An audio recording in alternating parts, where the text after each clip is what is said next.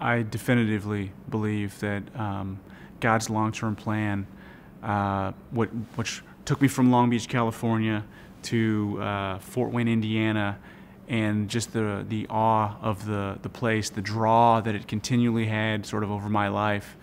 Uh, I absolutely believe that um, God's ultimate plan was for me to come to the University of Notre Dame.